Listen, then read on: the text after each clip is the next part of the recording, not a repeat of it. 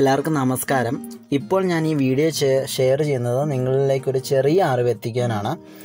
June ഒന്നാം തീയതി മുതൽ നമ്മുടെ കുട്ടികൾക്ക് ഓൺലൈൻ ക്ലാസ് തുടങ്ങാൻ കേരള ഗവൺമെന്റ് തീരുമാനിക്കുകയുണ്ടായി.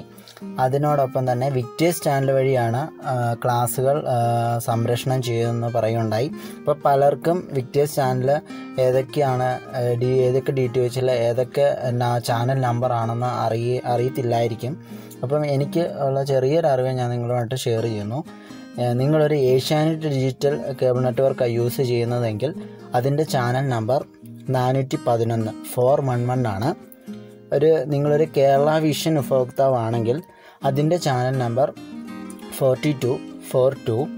അതേസമയം നിങ്ങളൊരു ഡിഷ് ടി വി ഉപയോഗിക്കുന്ന ഒരു ഉപഭോക്താവാണെങ്കിൽ ഡിഷ് ടി വി ഉപയോഗിക്കുന്നവർ ശ്രദ്ധിക്കുക പുതിയ സാറ്റലൈറ്റ് പഴയ സാറ്റലൈറ്റ് എന്നുള്ളൊരു വേർതിരിവുണ്ട്. അപ്പോൾ പഴയ സാറ്റലൈറ്റിലാണെങ്കിൽ ഇത് കിട്ടുക വളരെ ചാൻസ് കുറവാണ്.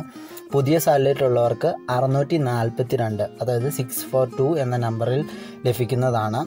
അതുപോലെ തന്നെ നിങ്ങളൊരു വീഡിയോകോൺ ഉപഭോക്താവാണെങ്കിൽ അതിനകത്ത് സിക്സ് ഫോർ ടു അറുന്നൂറ്റി നാൽപ്പത്തിരണ്ടാണ് ചാനൽ നമ്പർ പിന്നെ ഒരു കാര്യം പറയാനുള്ളത്. ടാറ്റ സ്കൈ അതുപോലെ തന്നെ എയർടെല്ലിൽ ഇതുവരെ വിക്ടേഴ്സ് ആയിട്ട് വന്നിട്ടില്ല.